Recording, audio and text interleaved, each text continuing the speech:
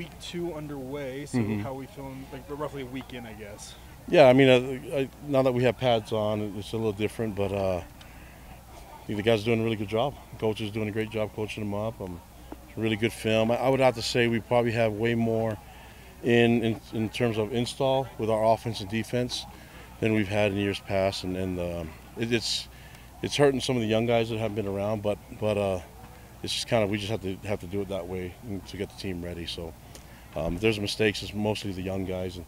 We had some administrative mistakes today. Um, bobbled snap, uh, offsides, false start, stuff like that. So we'll clean that up, but that's that's part of it. We just got it's got to be a lot better in terms of execution, and not not making those type of mistakes. We talked to Aaron on Friday. He said he was just he was really focused on installing quickly, but then repping things over and over again. Is that a Yeah. philosophy team wide? Yeah, and I, th- I think the um, I mean the mistakes are fixable in terms of just focus. The the other mistakes that are happening is just is the, getting getting the guys an opportunity to make plays, and so um, I know there's a lot going in there, and it benefits the guys that have been around longer and uh, been used to this offense and defense, and so uh, the young guys it's, it's it's one of those things where the classroom has to move as fast as the as, as what we need to get done rather than.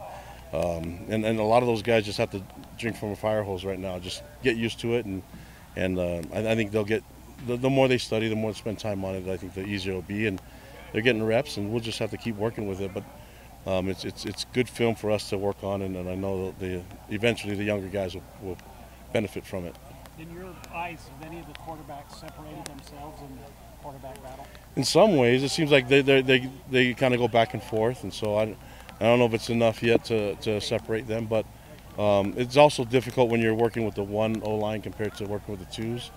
And so um, we're, we're taking that into account, also with the receivers and the, and the DBs, so that, that are going against them. So it, when we factor it all, all in, it's just it's more who can get the team to execute the best and and uh, make sure that we're not making mistakes. But a lot of that is not the quarterback. I think the quarterback's doing a great job, and, and I would say all four of them. We made some mistakes today, threw some picks, but uh, it's okay. I think that's more defense making plays than anything else. But uh, I'm really pleased with the way the progress. Uh, I want to see the progress of the uh, quarterback position uh, with all those guys. And I talked about the four quarterbacks, but it's also with, with, with Cole, Hagan. So all the guys are getting better, and I think the quarterback position is, is improving quite a bit every day.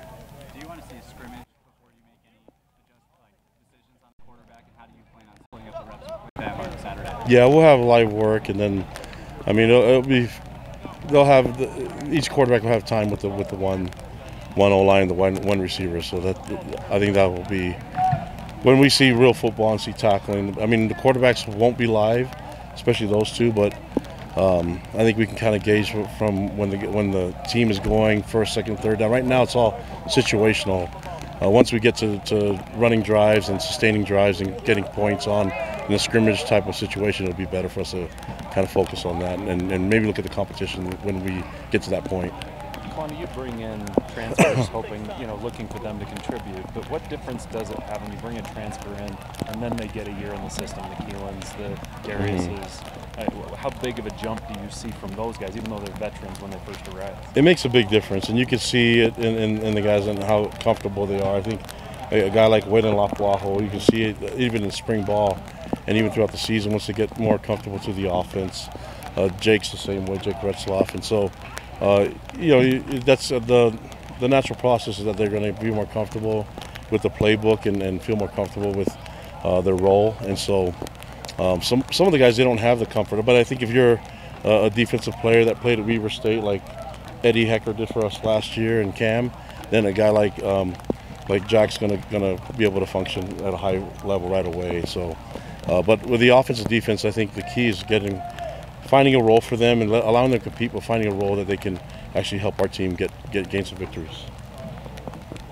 Any other questions? Good. All right, we're good, Brett. Got them all.